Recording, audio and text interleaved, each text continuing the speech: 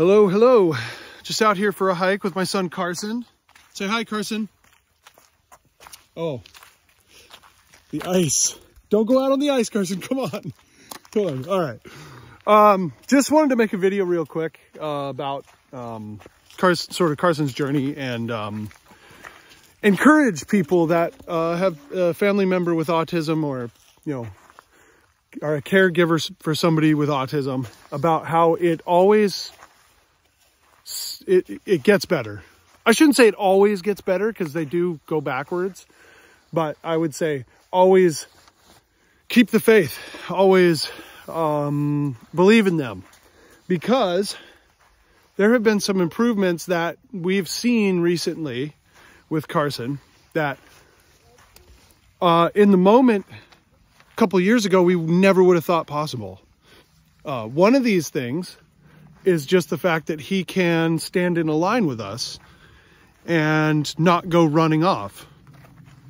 Um, that is huge because everywhere we went, especially in public places, we had to keep an eye or a hand on him, really, literally a hand on him so that he wouldn't run away. Now he, we don't look back to see if he's back there. I mean, obviously, occasionally we have to, but he's very good about staying with us. Um, so that's one of the things that I never would have thought that was possible. We had special locks on our doors in our house so that he couldn't escape. Now we don't, I mean, he can, he could leave if he wants, like, you know, but we don't have those locks on the doors anymore. Um, yeah, we didn't teach him that. He just aged out of it, I guess. And, you know, he is, uh, he's not, I guess, oh, look out, Carson. Hold on. You don't want to go in the ice. Come on, come on, come on, come on, come on, come on, come on, come on. Um, he's not uh, super severe, which I guess would help. Um, but he's also, um, he's not, it's not a mild case or, um, you know, he's not barely on the spectrum or whatever.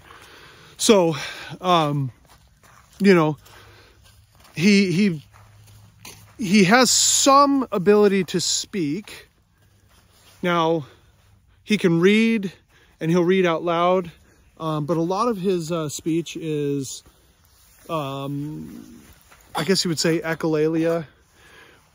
It's things that he's seen on TV shows and stuff. So um, it's not, it's not really original thoughts a lot, but we've started to see them pop up. Now he's seven years old, so this could change. Um, I mean, he could he could start speaking one day and we don't even know it. You know, we don't even, you know, that's happened before. We've heard of that. Um, or not, you know, it's whatever. We're, we'll just take anything we can get, any improvement. Um, so if you have a family member with autism, do not give up on them.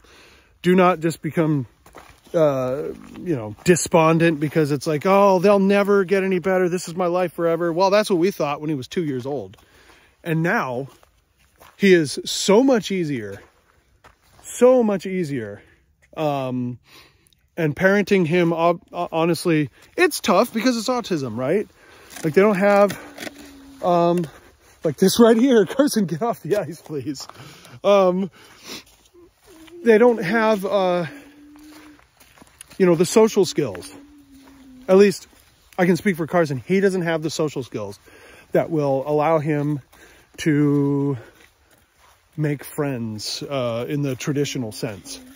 There are people that he's he likes and who like him, um, but uh, as far as like friendships as, as we know them, he doesn't really have those. So that's tough. So we have to work on that, or maybe that will come later. I don't know, um, because you know I just have to take it one day at a time and look at everywhere we've been you know, uh, and not always think about where we're going. So, so yeah, I just want to encourage you to um, just keep the faith.